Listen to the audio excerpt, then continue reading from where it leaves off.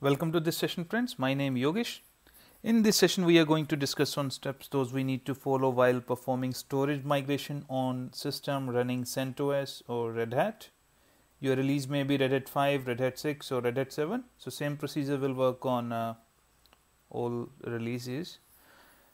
So first thing when we need to do storage migration. So scenarios may be multiple but I have listed uh, couple of uh, main scenarios. When your existing storage is getting end of life or it may be already end of life your new storage got more feature or high performance if you compare it with your existing storage.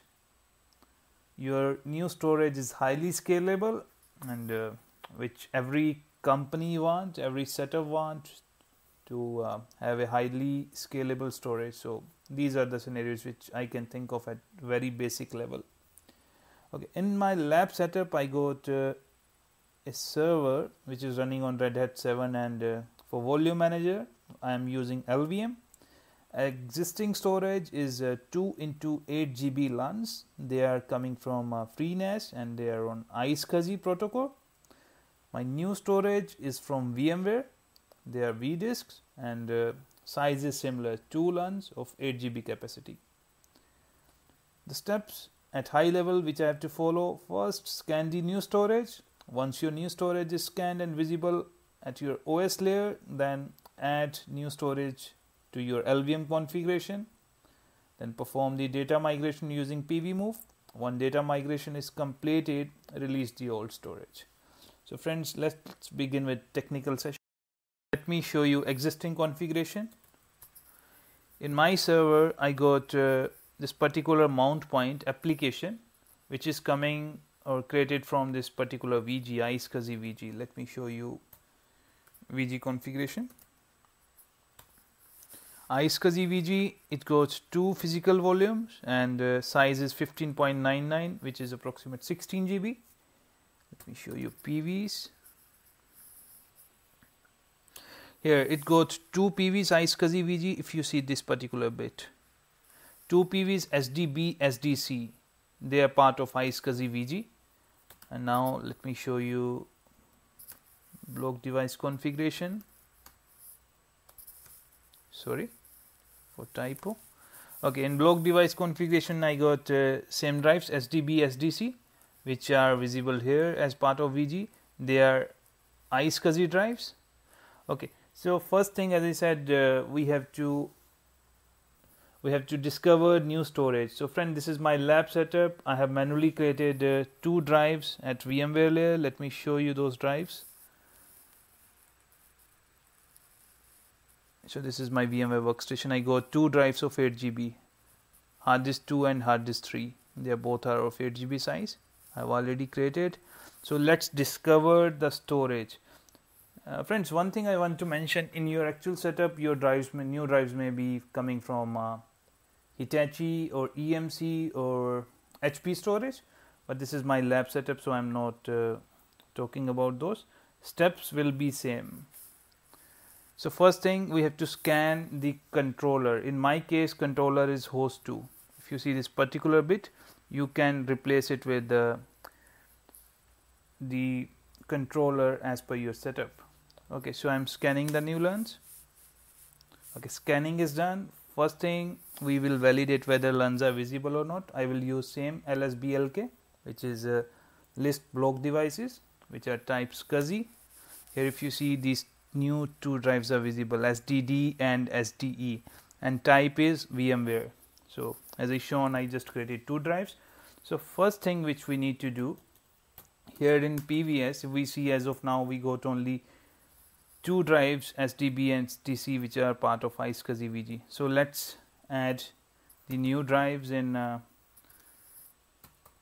LVM configuration. So drives will be pvcreate dev slash sdd and sde.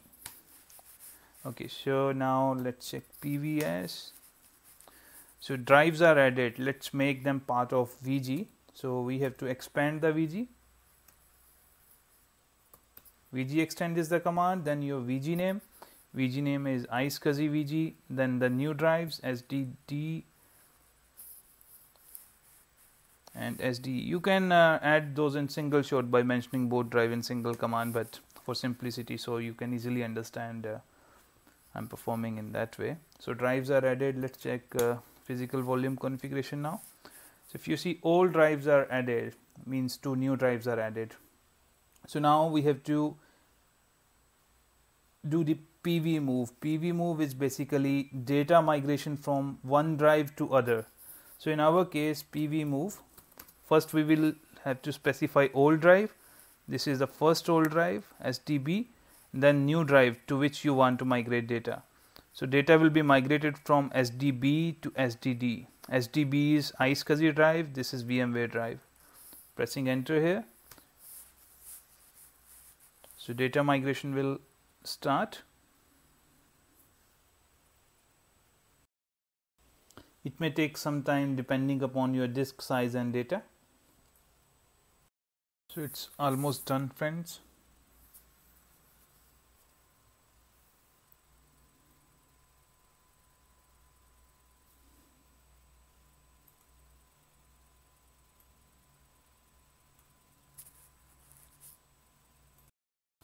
Check whether data actually moved from drive SDB to SDD, we can run lvs minus a space minus o plus devices. If you see here, these are the device configuration. So data, this particular LV here, SDD and SDC, they are showing zero. Let me compress it the way. So right now only drives SDD and SDC are having data. So it mean uh, data got migrated from drive SDB so next step we have to do we have to migrate our data from drive SDC to SDE so friend don't get confused. Let me show you LSBLK the block devices configuration so we just migrated data from drive SDB to SDD. So next step, which is uh, second iSCSI drive SDC to SDE. Okay, so here SDC to SDE. I can run same command press enter data migration will start but I want to show you one switch you can run it in background using minus B so minus B mean uh, this whole process will run in background I'm pressing enter here so data migration started and uh, if you want to look I will show you how we can check what is the progress. So friends uh, this is the progress of uh, PV move. So data is migrating from drive SDC to SDE if you see here and right now 2.30 uh, that's uh, progress. So 2.3 percent data is migrated. So it will take some time here I will pause this video for couple of minutes till migration gets completed. So PV move still going on friends.